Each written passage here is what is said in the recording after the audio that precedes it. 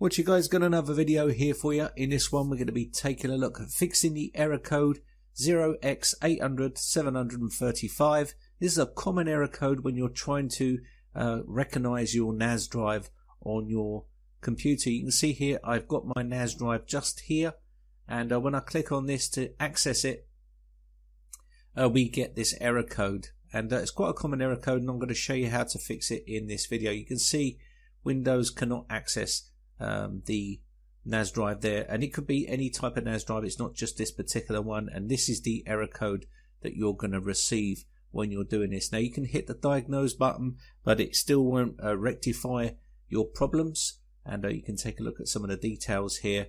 And this happens for a, a few different reasons. And I'm going to take you through and show you some of the fixes that you can use uh, to try and rectify your problem. Now you can actually go online and uh, access it via the web browser here. I'll just quickly show you this. As you can see, so I can access this via the web browser, but I can't access it on my computer or any other type of computer. So we're going to take a look at how we can resolve this. Now also if you try to map a network drive you're going to get this error message so let me just quickly show you here. Now whether you type in the path for the network uh, NAS drive or you uh, click on browse it doesn't really matter you're going to get the same error message uh, when you try to access it in this way. And it can be quite frustrating.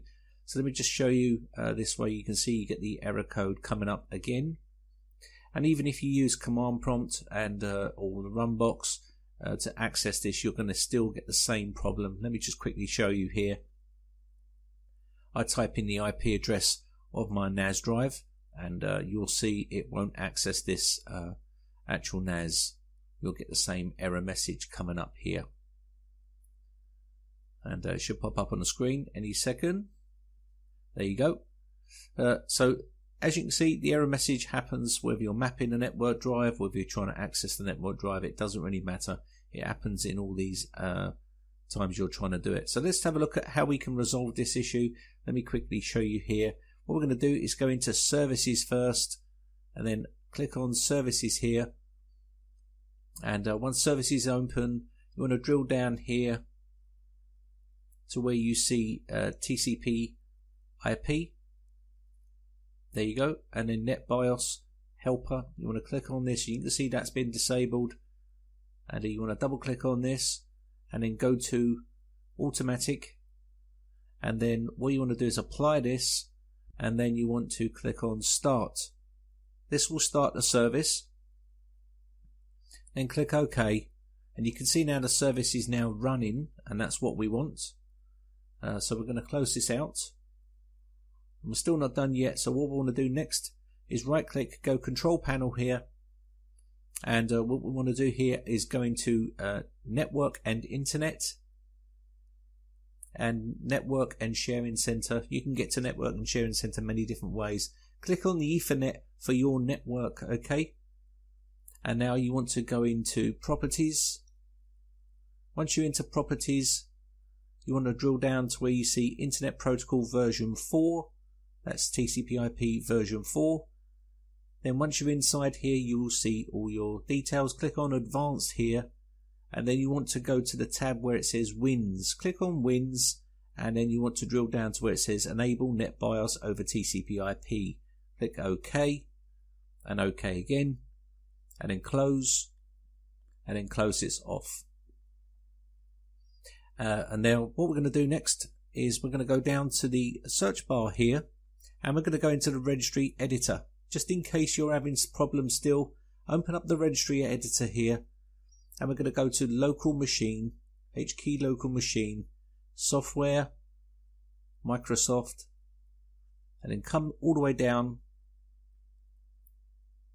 until you find Microsoft licensing or MS licensing hardware ID. You may want to export these to save them just in case. I'm just going to delete mine, but if you want to export them, you can export those folders.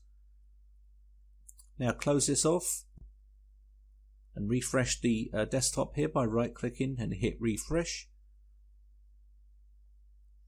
And now you can try to map a network drive.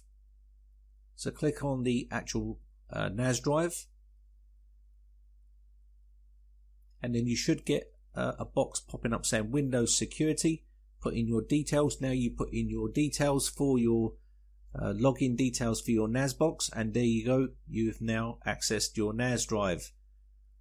Now, also, what you can do is just in case uh, you're having uh, problems and you're on a Windows Pro machine, I'll show you another thing that you need to make sure that's done just in case because there's different reasons for it. So you can see here we've got this now. We can map this network drive onto our desktop if we want to, and you'll see it listed here. So we've got access to this now, which is nice. Uh, so I'm going to close this off. I'll just quickly show you again. You can see it down the bottom here. It's now mapped, which is good. Now, also uh, as well, what you may want to try is just we'll just quickly try the Runbox and put in our IP address here and click OK to see whether we get the box popping up, and of course we do. So now we can just put in our details and click OK, and now we can access our NAS from there as well. So we can click our uh, folders here and put all our data in for public or for our personal use. Now, if you're still having issues, uh, what you may want to do here is go to the policies, local security policies, and I'll put the uh, command in the run box here or search. Open this up and just make sure if you're on a Windows Pro machine, uh, you can see local policies, security options, and then come all the way down.